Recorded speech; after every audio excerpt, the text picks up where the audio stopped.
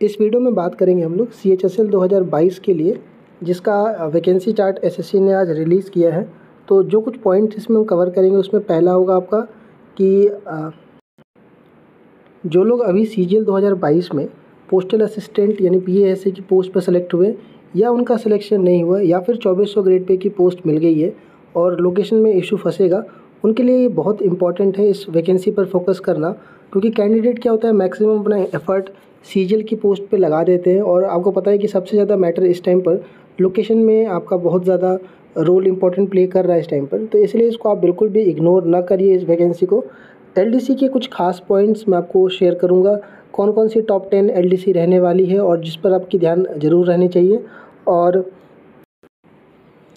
Other post से compare करके कुछ फ़ायदे आपको मैं एलडीसी की बताता हूँ, जिसमें आपको सैलरी से अगर आप कंपेयर करोगे तो चीज़ें आपको कुछ पॉजिटिव निकल के आएँगी। आगे बढ़ने से पहले देखो, अगर आप सीएचएसएल में सिलेक्टेड हो और मेंस का एग्ज़ाम जो अभी जून में शेड्यूल्ड है, उसके लिए जा रहे हैं आप तो अग्रवाल पब्लिकेशन की कुछ बुक्स हैं, मैं आपको सजेस्ट करना चाहूँगा। और आप मुझे इसका ज़रूर फीडबैक दीजिएगा। ये बुक जो आपके प्रीवियस ईयर के जो भी एग्ज़ाम्स हुए हैं, उन पर पैटर्न पर बेस्ड है लेटेस्ट पैटर्न पर बेस्ड है आपका। और अगर हम बात करें कि क्या कुछ इसके अंदर इंक्लूड करा गया है तो हर एक चीज़ को चैप्टर वाइज डाला गया है। जैसे अगर मैं बात करूँ इंग्लिश के लिए चैप्टर वाइज इसमें किया हुआ है। एरर को कम से कम रखा गया है। सोल्यूशन आपको इसी के नीचे मिल जाएगा। बाई लिंगुअल है, आपको हिंदी, अंग्रेज़ी दोनों के लिए मिल जाएगा।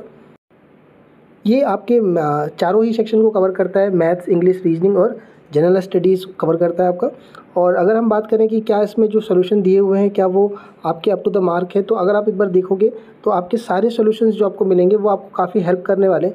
एक बार मैं आपको बता देता हूँ कि मैथ्स वाइज अगर मैं बता दूँ टॉपिक वाइज बता दूँ, एक बार इसका रिव्यू दे दूँ तो 1999 से लेकर के 2022 तक के जितने भी क्वेश्चन पेपर हुए हैं, सभी के सोल्यूशंस आपको मिल जाएँगे बाईलिंगुअल में मिल जाएँगे आपको, और भाषा की दिक्कत नहीं आएगी आपको।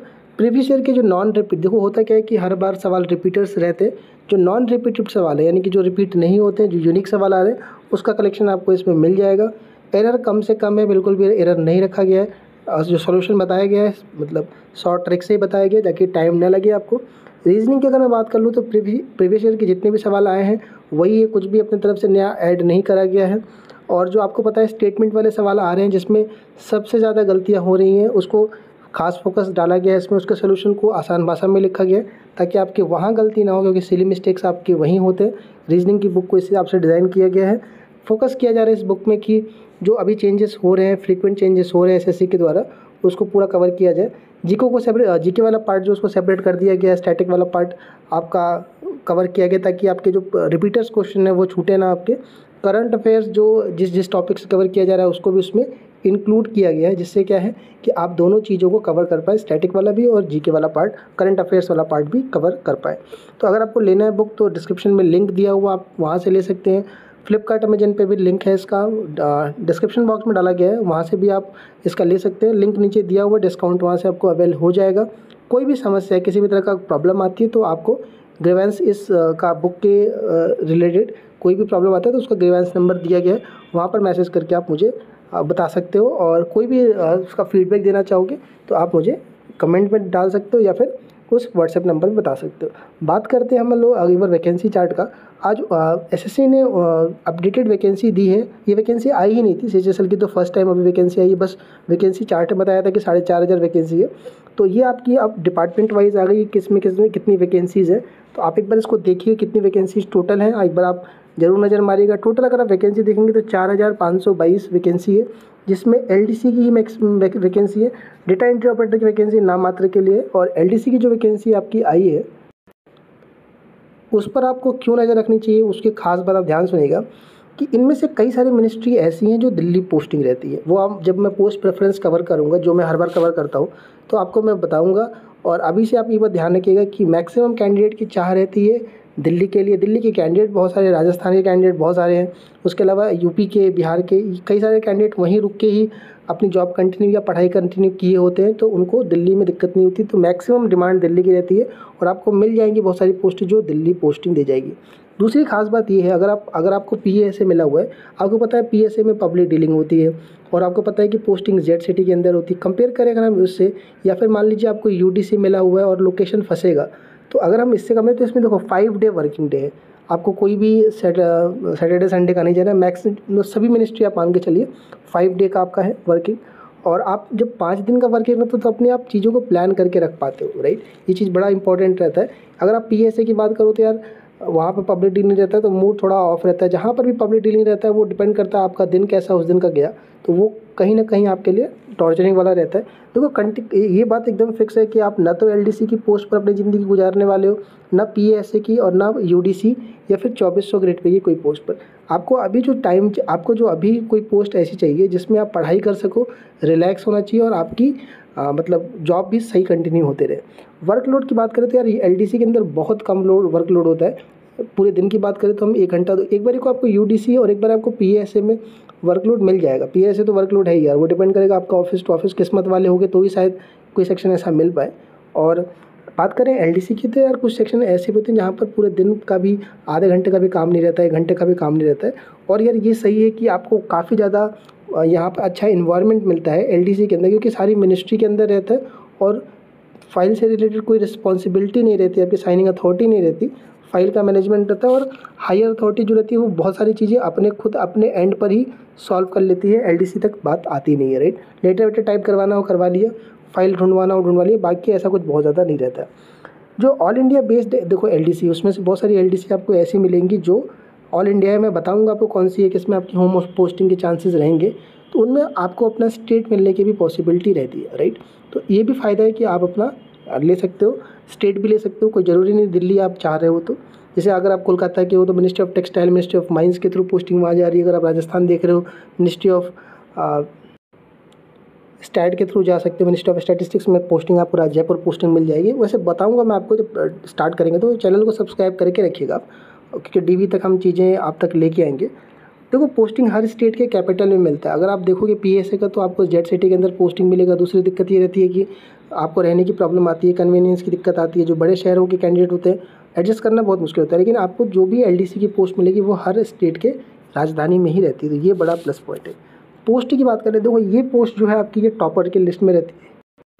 तो ये तो रखना ज़रूरी था। चलो, ये पोस्ट इसलिए कि कैबिनेट से राष्ट्रपति भवन में पोस्टिंग आती है आपकी एलडीसी की और पोस्ट काफ़ी अच्छा है, दिल्ली बेस्ड पोस्ट है आपकी और जॉब प्रोफ़ाइल से ज़्यादा ऑफ़िस इन्वायरमेंट बहुत ज़्यादा इंपॉर्टेंट है। टॉपर्स की लिस्ट में आती है, अगर आपको ये चाहिए तो आपको टॉप लिस्ट में आना पड़ेगा। बात करते हैं नंबर टू यहाँ से भीड़ स्टार्ट होती है और इनकी वैकेंसी अच्छा मैंने उन पोस्टों को कवर किया है जो डिमांड पॉपुलर पोस्ट रहती है और जिनकी वैकेंसी भी थोड़ी अच्छी खासी है, यानी पचास से ज़्यादा वैकेंसी है दो, चार, पाँच वाली वैकेंसीज मैंने नहीं ली है। बस कैबिनेट सेक्रेटरी को हटा करके। एफ़ एच सबसे खास बात है, दिल्ली पोस्टिंग रहती है आपकी। पॉइंट नंबर टू आपका ये है कि नाइन टू फाइव वाला जॉब है सैटरडे संडे ऑफ़ रहता है आपका, पाँच दिन वर्किंग है। मिनिस्ट्री ऑफ़ डिफेंस के अंदर काम करते हो तो कैंटीन कार्ड आपको मिल जाता है।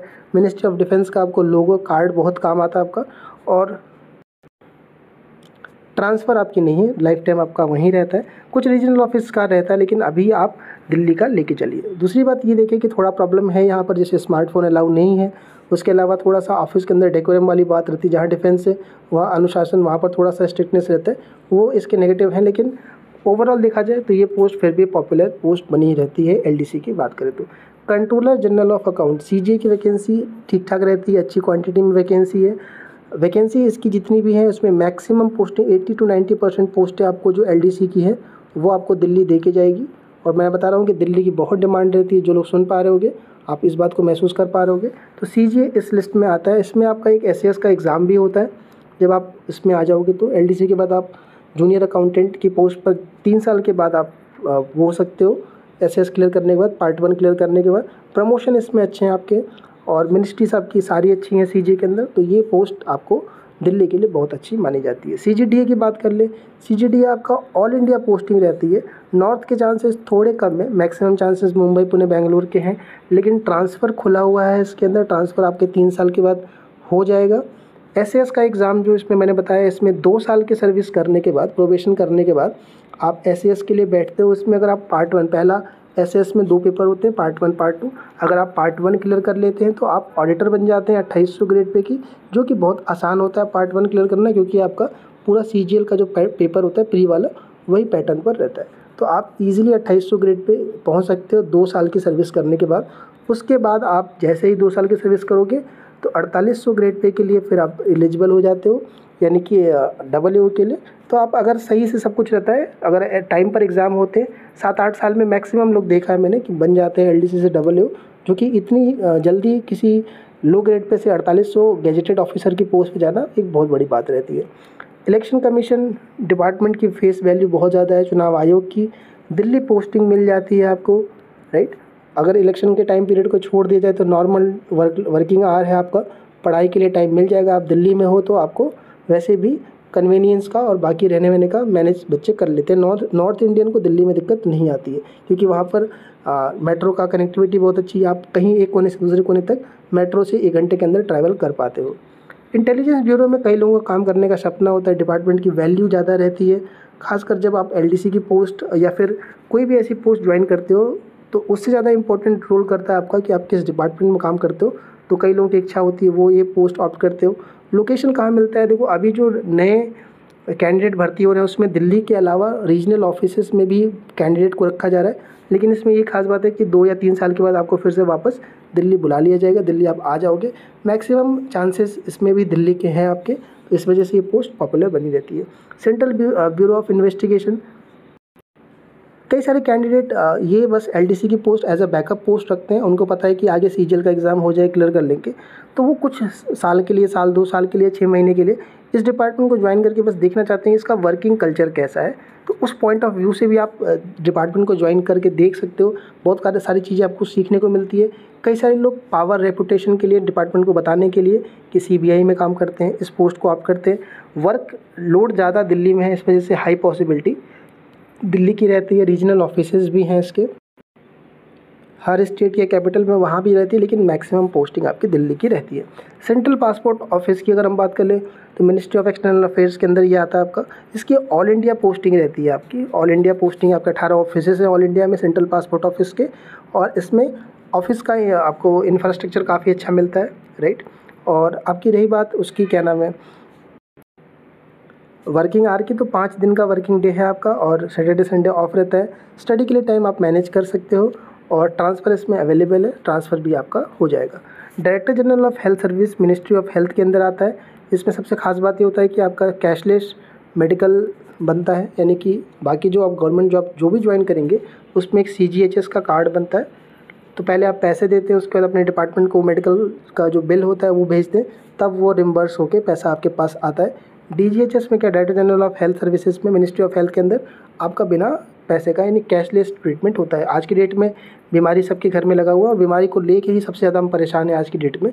और इस टाइम पर मेडिकल हेल्थ वाला ही सबसे ज़्यादा इंपॉर्टेंट है। इसलिए डिपार्टमेंट की जो फेस वैल्यू काफ़ी अच्छी है इस टाइम पर। और रही बात लोकेशन ऑल इंडिया इसकी पोस्टिंग रहती है। स्टेट वाइज वैकेंसी मैं आपको अवेल करा दूँगा कहाँ कहाँ पर वैकेंसीज़ है इसकी और आप इसको फिल करके ले सकते हो। मिलिट्री इंजीनियरिंग सर्विस के अंदर यू डी की पोस्ट आई है। अभी यूडीसी की पोस्ट सी जी में आई हुई थी। मिलिट्री इंजीनियरिंग सर्विस की कमांड के थ्रू जैसे आपका सी जी डी है, जहाँ सी जी डी के ऑफ़िस आपको मिलेंगे, वहाँ वहाँ आपको एम का ऑफ़िस मिल जाएगा। ऑल इंडिया में ऑफ़िस है आपके। और सबसे खास बात है मिनिस्ट्री ऑफ़ डिफेंस के अंदर काम करने को मिलता है तो वही canteen card staff quarter available हो जाता है आपको, रहने के लिए दिक्कत नहीं आती है। एम e का मेन काम ही रहता है कि जो क्वार्टर वगैरह हैं, जो कैंट एरिया में जहाँ आर्मी रहती है, उनका मेंटेनेंस वगैरह करने का।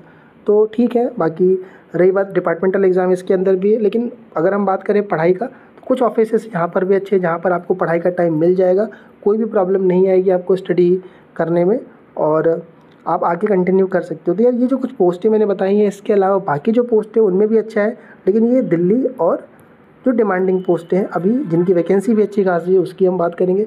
आपकी कौन सी टॉप पोस्ट है? एक बार आप लिखिए कमेंट सेक्शन के अंदर, बताइए मुझे। और मेंस होने के बाद मैं आपका पूरा कवर कर दूँगा डॉक्यूमेंट वेरिफिकेशन पूरी प्रोसेस हर बार की तरह आप तक पहुँचेगी, चीज़ें स्टेट वाइज वैकेंसी पहुँचेगी। गोल्डन बुक जो पॉपुलर है हर बार के लिए